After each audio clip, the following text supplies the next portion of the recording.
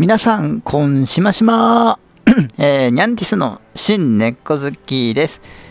えー、追放選挙実況プレイ、今日も、えー、やっていきたいと思います。さて、えー、っと、前回は、認知おじいさんを、えー、まあ、ついに追放して、残る C グループはあと1人、えー、勝利さんということで、まあ、その選挙までの情報収集をやっていきましょう。あと1人消せば、一つのグループが消滅する。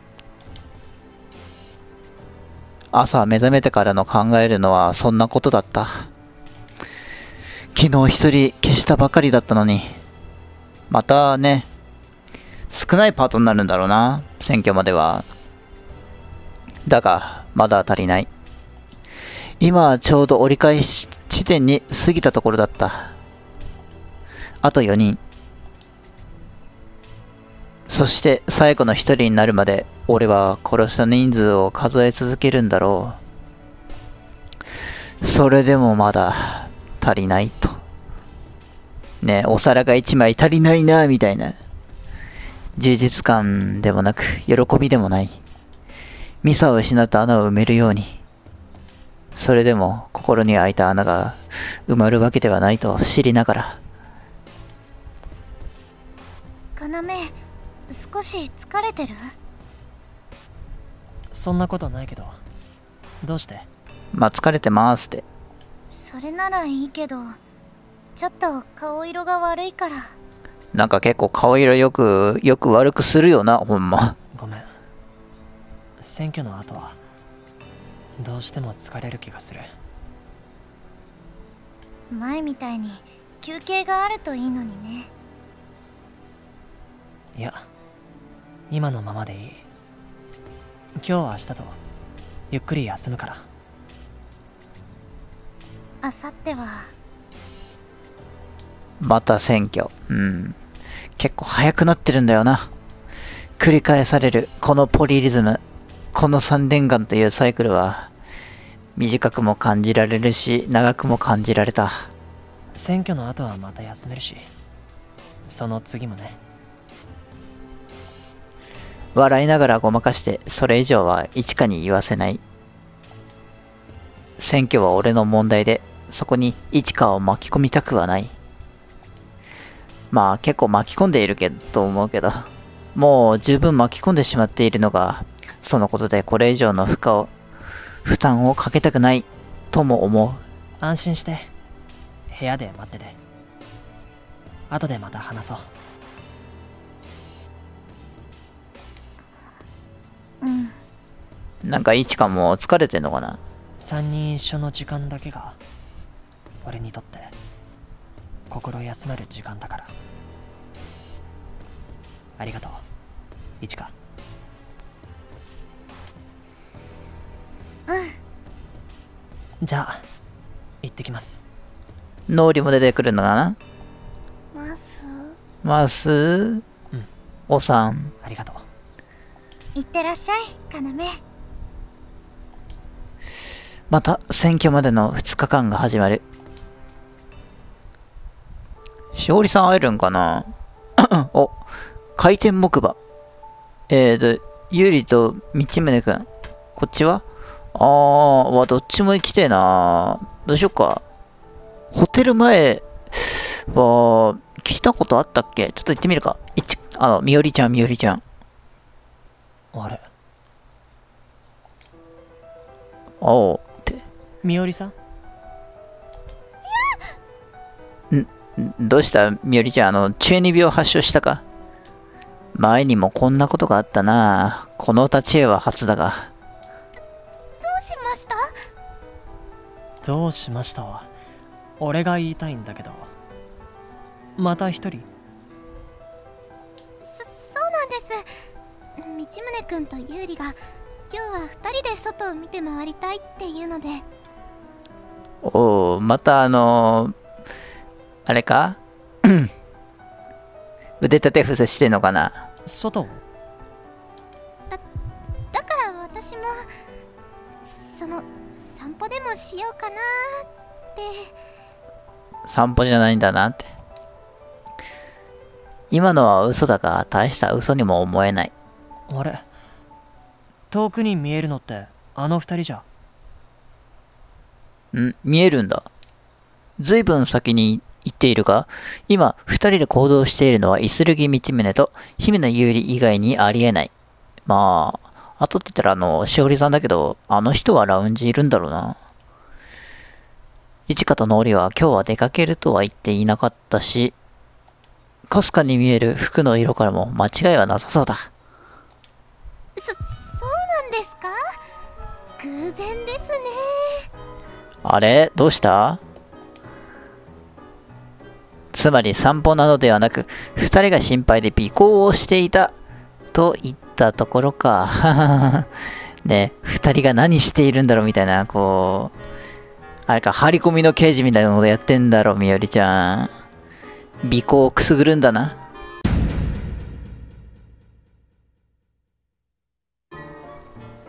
二人が心配なの？そんな心配なんてちょっとだけしか。でも二人とももう子供じゃないし。まあ、14歳はまだまだ子供やぜ。子供じゃないってことはあのみよりさん？どうしたの？ついて行ってみる。そんな要さんもですか？なんかあの警察24時みたいな、そんな感じになりそうやな。持っていったな。ダメですよ。邪魔になっちゃいますし。じゃあやめとこうかやっぱり行く？どっちやねんって。彼女は知らされていないんだろうか。やはりこれはカードが目的と見るのが正しそうだ。彼らがどの程度の情報を掴んでいるのか。読みが正しければ聞いたところで答えが来るはずもない。調べるためには追いかけてみるしかないが、一度別れた後に不自然な形で見つかってしまうよりは一緒に行動した方が良さそうだ。じゃあ一緒に行かない？こう言って誘えば？さんがそう言うなら。ね。まあ後で一花にね言われても知らないけどねって。みよりさんを置いていったってことは何か危険なことをするつもりなのかもしれない。その時は止めに入る必要がありそうだしね尾行する理由としてはそれなりに筋が通っている。これなら彼女に怪しまれることもないだろ見に行くだけ見に行くだけだから大丈夫う。ね見学だけですって。さて何をしているのかなって。しばらく二人に見つからないように後をつけたが、普通に楽しんでるねそうなんだ。さすがにカードを集めているんだろうが、遅れを取り戻すために必死になっているようにも見えない。俺の考えすぎだったか？そうですね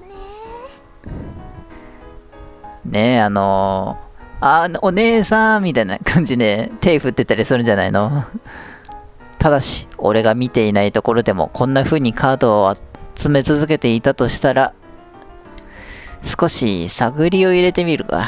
みよりさんも道宗君とあんな風にアトラクションに乗ったりはするの？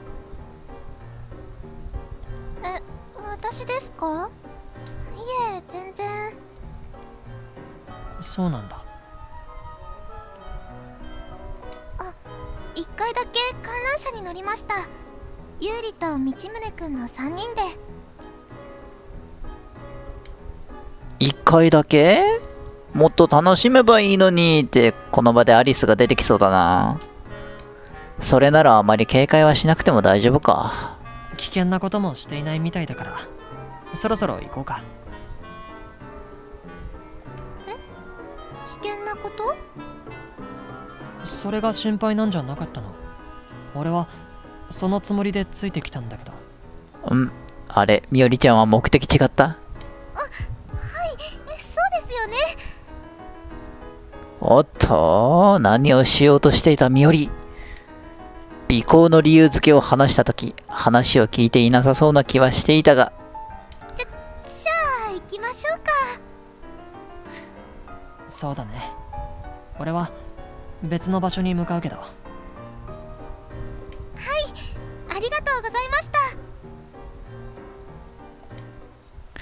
まあいい今はやるべきことをやるだけださてもう一方からも話を聞いておこう。あ、これでもう一方もいけるんだね。回転木馬で何してんだって。こんにちはゆうりくんに道宗くんん？あの、道宗くん、いきなりその顔はなんだ？う、見られたかみたいな。姫のみ、みおりと別れた後、テーマパークを歩いていると、またもや二人に遭遇してしまった。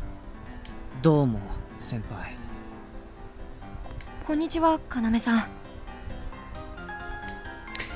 一日中テーマパークの中で歩き回る理由はカード以外にありえないだろう。乗り物にでも乗ってたのそうっすけどそれ先輩に関係あるんすかね？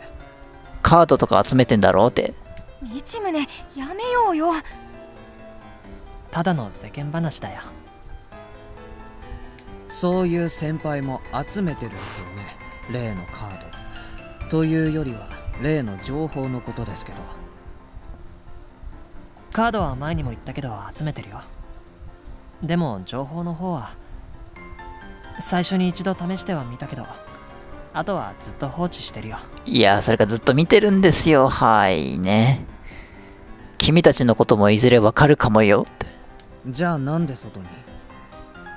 君たちとももう一度話がしたいと思ってそんなこと言って地道に集めてるんじゃないんすかね一人で乗り物に乗ったりしていや、まあ一人ではないんだよね。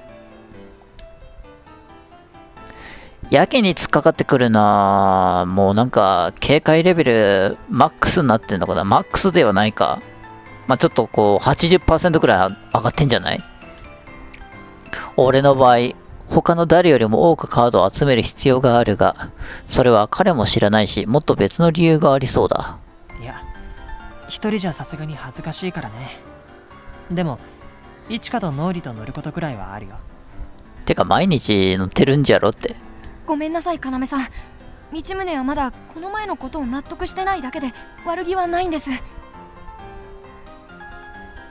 有利あー、なんかあのーあれか。道宗くんの意見も、ゆう、あのみおりちゃんの意見も、まあ、両方ともあるやで、みたい。なこと言ってたの、まだちょっと、あれか。ね、ちょっと考えてたのね。やはり、この間の件の誤解が解けていないらしい。もう5回も行きゃわかるだろうって。ああこの前の。あれは誤解だって。どうしてああなったのかは正直なところ。俺もみおりさんに聞かないとわからないけど。大丈夫です。分かってますから。俺は分かってないからな分かってほしいなーって。そういう人なんだよ姉さんは道宗が知らないだけでな俺が知らないってどういうことだよ一緒に暮らしてみればわかるよ ねあのーゆりくんは弟だからね。もう毎日見てるから、ね姉さんどういう人やみたいなのがようわかるんよ。一緒にっていや何言ってんだよ。そんなの無理だろ。大丈夫だよ、道宗くん。その、あの、入入籍とかしたら、いやまあそうなんだけど。もしくはあの、シェアハウスやな、シェアハウス。えっといいかな。とにかくあれは誤解で俺は別に彼女に何かしてたわけじゃないってそれだけは分かってもらえるかな彼女に何かしていたら、あの、いちかがね、どういう行動をとることか、あの、いつぞやしおり、しおりさんにやったようなことをするんじゃねえのみおりちゃんにも。はい道宗にはちゃんと言っておきますからこれでまともになってくれるとまでは思わないが。少なくとも完全な敵対関係になるのだけは今のところは避けたい。よかったそれで2人は乗り物に？やっぱり気になるんすねいやー、ちょっとそういう絵面もちょっと見てみたいんだって。君たちみたいな子がね、アトラクションに乗ってワーキャーしているところをね、見てみたいんだっていうね、あの、要のちょっとした興味本位だよ。ああさっき答えを聞きそびれたからちょっと気になっただけだよ答えたくないなら別に答えなくても構わないからそう言って姫の有利に視線を向ける。彼からのフォローを待ってみたが、彼は黙ったままだった。あれ、ゆりくんは何も話してくれないのかな？彼の性格からそんなことはないといった答えが聞けるかと思ったが、意外だったが、警戒されているのかもしれない。えっとじゃあこれで話は終わりですねユーリどうかしたか？なんでもないよほら道宗行こう急に冷めたな。これ以上は、やぶ蛇になる可能性もありそうだ。誤解を解きたかっただけ、ということで収めて引いた方がいいな。うん。時に、引き際も大事。それじゃあまたねはい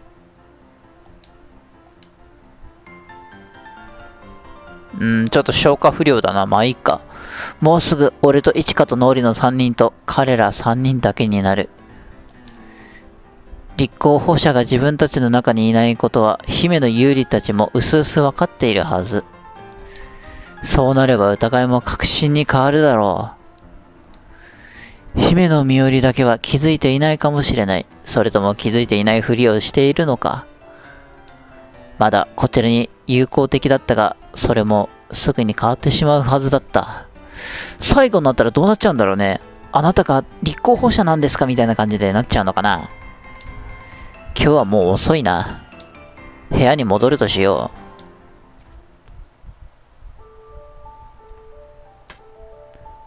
う。よし、じゃあまあ、ね、ラッキープレイスするか。ただいまおかえりかなめそろそろだと思ってた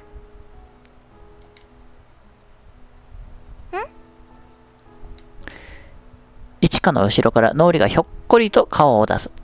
待ってたんだよねかなめのこと。待ってたのか、よしよし、じゃあ連れて行こうかなと。そっか。ありがとう。乗り物乗りに行こっかって。何の俺？いやなんでもない。それじゃあ行こっか。出かけよ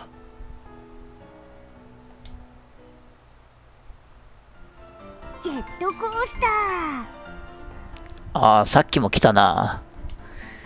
運よく最初の場所が正解だったようだ。ということは、あれか。ゆうりくんと道宗くんもここでもらったんかな？うなんだ？今のはー時には変化球も必要かなってそろそろかなめくんも飽きてきちゃった頃じゃない？飽きてるかどうかは別にしてもそういうのはいらないと思う もう、冷てえ。あそう？まあ君たちってそういう人間だよねそれだけ言って、アリスは不意に消えた。アリスをあしらうのうまくなったね まあもう、長い付き合いだからね。そうかなでも私たちはアリスの言う通りそういう人間だしねどういう人間かはさておいてジェットコースターか乗り物としてはどうだろうか。今のところ観覧車しかあの、え、あの、挿絵ないんだよな。他のこうジェットコースター乗ってるシーンとか、いろいろあってもいいと思うんだけどな。私は大好きだけどあれ？この目は苦手だっけ？いや苦手なのはミサの方だった。あー。ちょっと、お兄ちゃん一緒に乗ってみたいな感じだったんだろうね。脳裏の方かもねそういえばのーりちゃんは初めてだったねそうそう苦手じゃないといいけどとりあえず乗ってみてからかなこう、あれだな、タイタン、今タイタンって言ってもわかんないか。もうスペースワールドなくなっちゃったしな。ねえ。とか、ヴィーナスとかさ、あんな感じのレベルだったらちょっと怖そうだけどね。ここのジェットコースターはどんな感じなんやろ？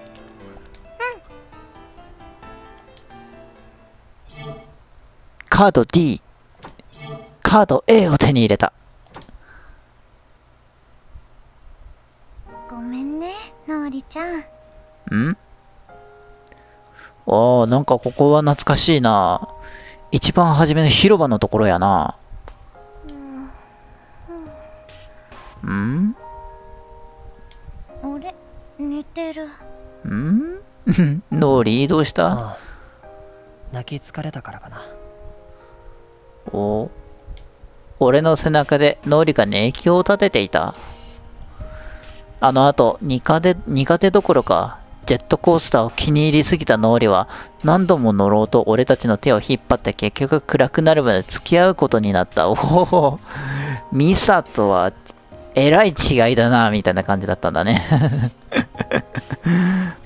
あの、ノーリーはいろんなアトラクション楽しめて、えーな、連れて行くのにもってこいかもしれん。ね。アリスが出てきて、今日はおしまいだと言っても、抵抗して泣き出した。そんな脳裏をおんぶしてテーマパークの中を歩いているうちに、もうすっかり日も暮れてしまった。まあでもアリスからしたら、あの、ね、こんなに乗ってくれて僕は嬉しいな、みたいな感じで言ってんだろうな。でもご飯になったら起こさなくちゃね。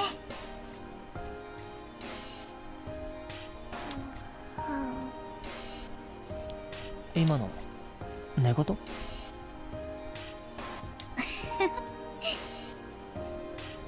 この分なら食べ終わった後には忘れてくれてるかな。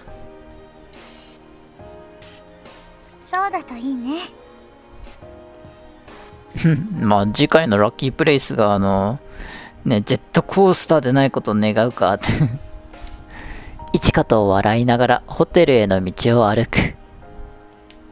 背中の重みやミサを思い出させて少しだけ辛かったけど、次第にそれも気にならなくなっていた。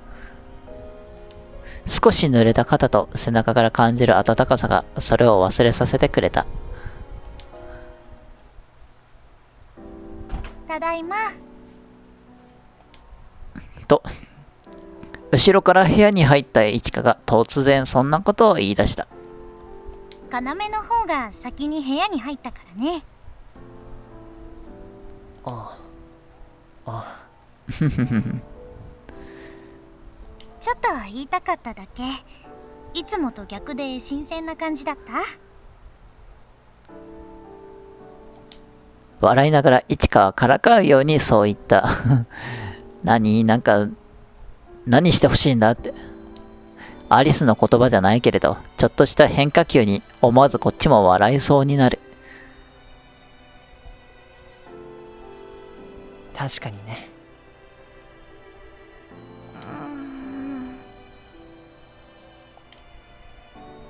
目を覚ました脳裏が背中から降りる。目をこすっているのは眠気のためだけじゃなさそうだ。ごめんねのーりちゃんジェットコースターはまた今度ねそうだね。またラッキープレイス、ね、後にでも乗ろっかって。うん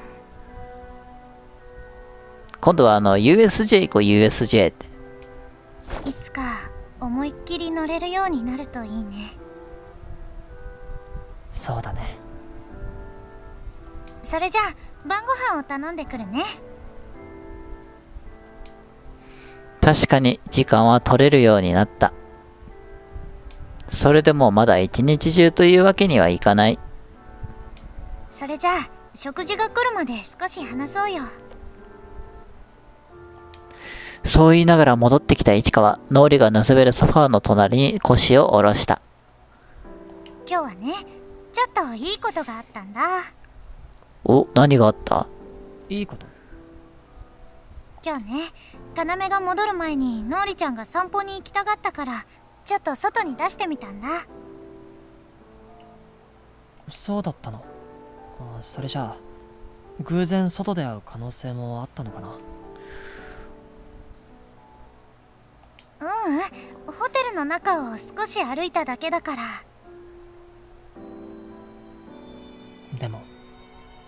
危なくないかな？その。しおりさんとかに会ってたりしてんのかな？迷子になるかもしれないし私が後ろをずっとついてたから大丈夫だよ。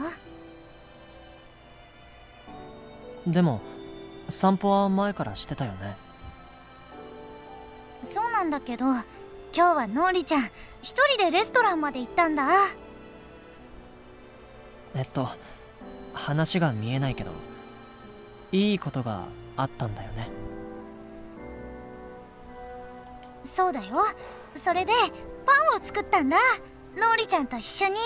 おー、パン。どんなパン作ったのかなって。脳裏も一緒に？手伝ってもらっただけだけどね。オーブンなんかは危ないからまだ触らせられないしまだ、というのが一からしい。いずれは脳裏に教えてあげるつもりなんだろそっかもうそんなことまでできるんだう。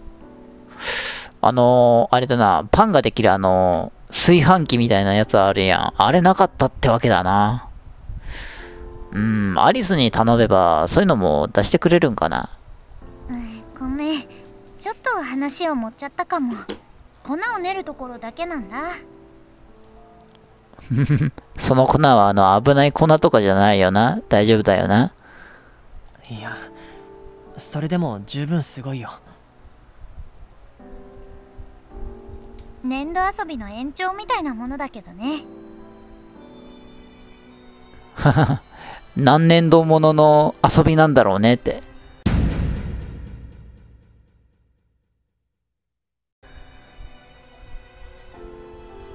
確かにいいことがあったね。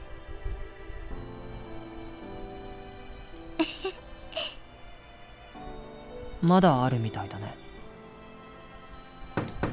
来たかな？食べながら話そうぜって。ずいぶん早いね。さっき内戦で。ちょっと待っててね。ん？市川は立ち上がると急いでドアまで走っていく。戻ってきたカートには山盛りのパンとサラダやシチューが乗せられていた。おお。もしかしてさっきの、あの、市川が作ったっていうパンか？このパンってそういうこと他のメニューもあらかじめ作っておいて温めてもらっただけおお、マジか。手料理ですか？それでこんなに早かったのかりちゃんご飯だようん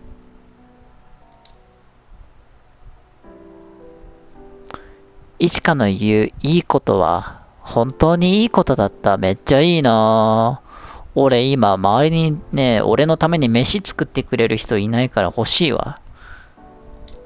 いつか考えていたように、これが俺たちの日常になった。そんな中でも変化はある。脳裏の成長。いちかが時々作ってくれる手料理。その変化も過去になった頃には変わらない日常として思い出す、出されるようになるんだろう。認長寺さんがおったら多分できなかったことなんだろうね。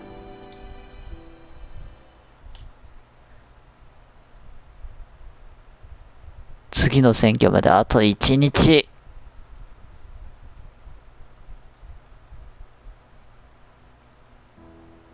それじゃあそろそろ出るよはい、というわけで、まあ、ちょっと短めかなと思うんですけど、今日はこの辺にしたいと思います。